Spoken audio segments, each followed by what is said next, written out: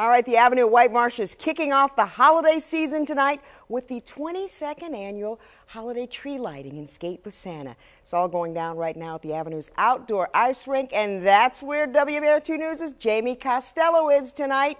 The music, the crowd, looks like we're ready for Santa. This is great. We're just minutes away from Santa, Mom. Can you stand it? No, we can't stand it. This is Julian's first ever meet of Santa. Are you excited? Yes, you are. Way to go. I want to introduce you over here to a young lady who is waiting for Santa Claus. Listen, I'm talking to Santa right now, and he says that your name is Logan. Is that right? And that you go to William Packer? You're in preschool? What's your favorite? Oh, and oh, he just told me that you want LOL for Christmas. Isn't that neat? Mom, Santa, he, she's, he says she's a good girl. Yes, she is. Logan is a good girl. Yeah, way to go, Logan. Now, if only Santa could lift me up. Whoa, we're gonna light this tree at seven, Kelly. How you doing? First time ever see Santa? Are you excited? Very. nervous? He's been watching you, you know that? Okay? All right, good deal. How you doing? Hi, how are you?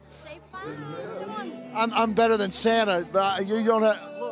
Are you ready for Santa Claus? Are you ready? Oh, she is. Hello there. How are you? Say hi. Hi. Say hi, Layla. Oh, yeah, that's the way it is. Hi, everybody. How's everybody? Merry Christmas. You ready to light the tree? Yeah. Yeah, you ready? You ready? Cheers. That's good. Everybody back here? Yeah. All we want this year is peace on earth. That's about right. Hi, everybody. How you doing? Say hello. How you doing? You ready for Santa?